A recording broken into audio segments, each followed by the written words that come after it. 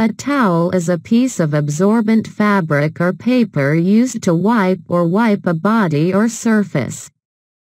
It draws moisture through direct contact.